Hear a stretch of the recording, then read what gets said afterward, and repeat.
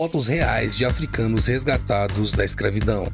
No vídeo de hoje conheceremos a história de um resgate de africanos escravizados através dos registros fotográficos feitos pela Marinha Britânica no ano de 1866. Você certamente nunca viu algo igual. Mas desde já, se inscreve aqui no canal e vem comigo caçar mais esta história.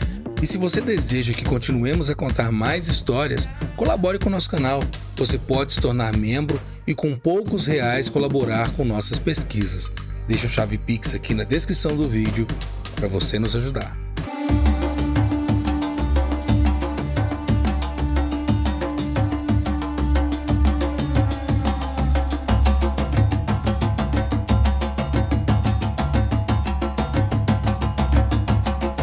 Nossa história de hoje começa na ilha africana de Zanzibar. Zanzibar é um arquipélago localizado na costa leste da África, conhecido por suas belas praias de areia branca e águas cristalinas. Zanzibar atrai turistas de todo o mundo em busca de paisagens paradisíacas e uma rica cultura africana. Mas além disso, a ilha também possui uma história fascinante com influências árabes, indianas e também europeias, que isso é refletido em sua arquitetura, na culinária e também nas suas tradições mas também existe uma história sombria nos porões de tanta beleza. Hoje vamos visitar a cidade de Moana Kwerekwe, que é uma área residencial localizada na Zanzibar Sul, na Tanzânia. Moana Kwerekwe é uma região habitada principalmente por comunidades locais, mas é no centro desta cidade, ao lado da Catedral Anglicana de Cristo, que se encontram as ruínas do último mercado de escravizados africanos do leste da África. O último mercado de escravos no leste da África, ele foi fechado em 1873 e agora é a Catedral da Igreja de Cristo Anglicana, que foi construída em 1879 por missionários britânicos e serve como um marcador importante para este período histórico. Acompanhe nessas imagens onde seres humanos eram trancafiados para serem traficados. Mercadores embarcavam para o continente a partir deste importante cais de Zanzibar e desapareciam por meses ou mesmo anos, retornando do interior da África com marfim, com ouro e também com escravizados. Inclusive, eu já falei sobre o comércio neste local e sobre a cidade de Kiwa no vídeo que eu deixo aqui na descrição deste vídeo e no card para vocês. A ilha de Zanzibar ela era a capital do Império de Oman na África Oriental. As fortunas árabes floresceram e as redes comerciais se expandiram por todo o Oceano Índico. Depois que a Europa percebe o valor deste local na África e começa a reclamar o domínio sobre essas terras, a Grã-Bretanha exerceu cada vez mais o seu poder e Zanzibar tornou-se um estado britânico protegido em 1893 até a sua independência em 1963. Porém, o comércio atlântico de escravizados foi abolido por um ato do parlamento britânico no ano de 1834, após uma campanha pela Anti-Slavery Society, que foi liderada por ingleses como o político William Wilberforce. A Inglaterra passou a ser uma espécie de polícia marítima internacional que capturava navios e embarcações com escravizados. Não era porque era boazinha, mas também para a manutenção de seus interesses políticos e também econômicos. E foi nas águas próximas a Zanzibar que no ano de 1866, o navio da Marinha Britânica HMS Daphne resgatou africanos escravizados e capturou negociantes árabes. O sultão de Zanzibar Gash bin Said, ele tinha um tratado com o governo britânico pelo qual ele deveria controlar os comerciantes árabes de escravizados que trabalhavam em Zanzibar. Mas na verdade, ele estava ganhando muito dinheiro com os comerciantes e com os escravizados. Entre 26 de outubro e 4 de novembro, quando o navio Daphne navegava e policiava as águas entre Zanzibar e Bombaim, na Índia, ocorreram muitas perseguições de dous, como pode ser visto nas entradas do diário de bordo registrados pelo capitão Sullivan. Mas antes, eu vou explicar novamente o que é um dhow. Um dhow é um tipo de embarcação tradicional com velas triangulares, que é construída em madeira e usado e foi usado né, ao longo da costa leste da África, no Oceano Índico e no Mar Vermelho.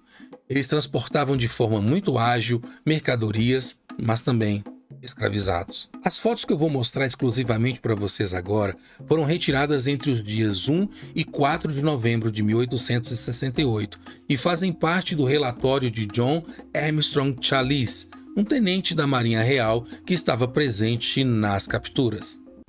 Vamos analisar mais detidamente estes registros.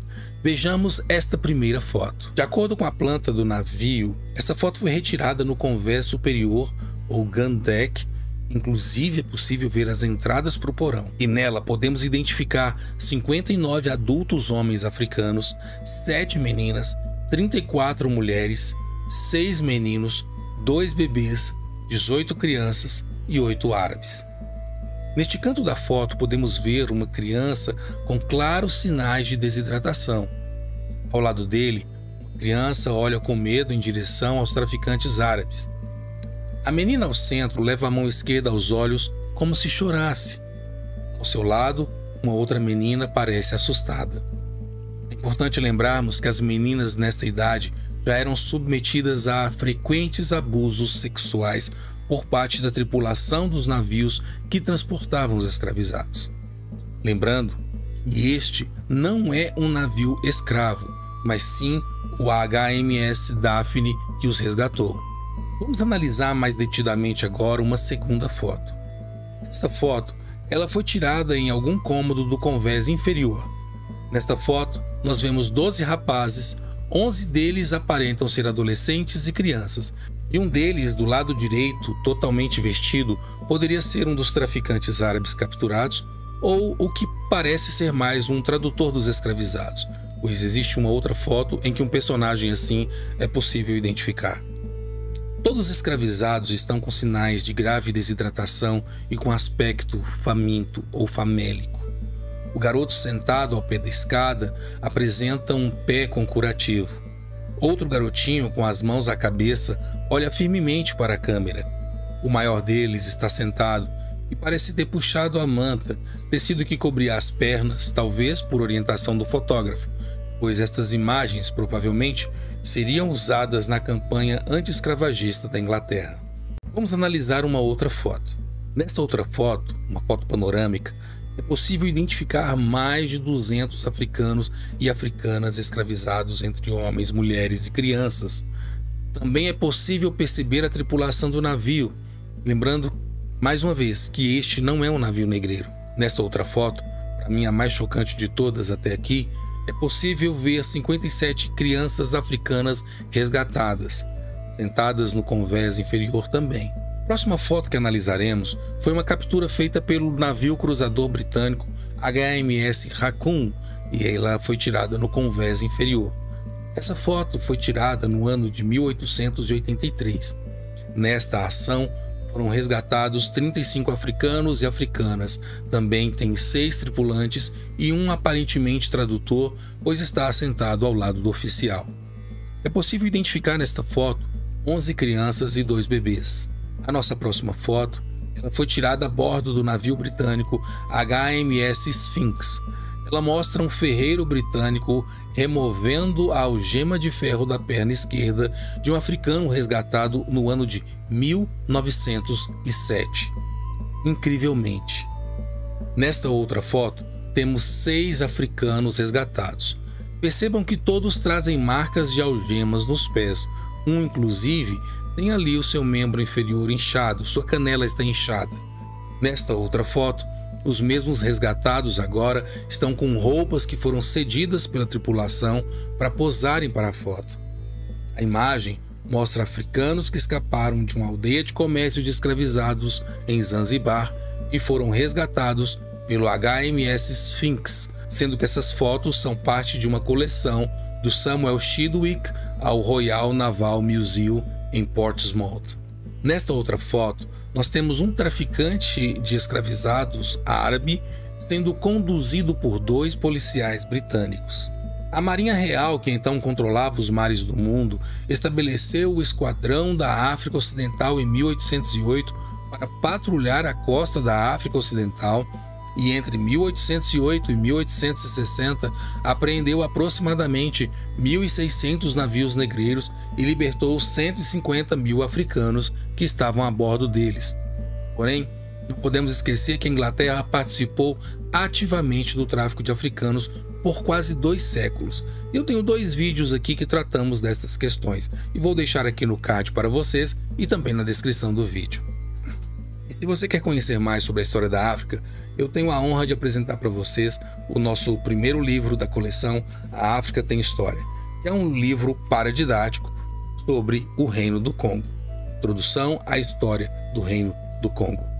Através deste livro, vocês vão conhecer a história de um dos mais longevos e poderosos reinos da África, o Reino do Congo. Deixo o link para você adquirir ele na descrição do vídeo. Você pode adquirir tanto o e-book quanto a cópia impressa. E é um prazer ter você conosco. As fotografias desses africanos resgatados da escravidão são imagens fortes, mas que jamais deveriam ser esquecidas. O estudo tem história. Tudo é história. A África tem muita história e eu vim aqui contar ela para você.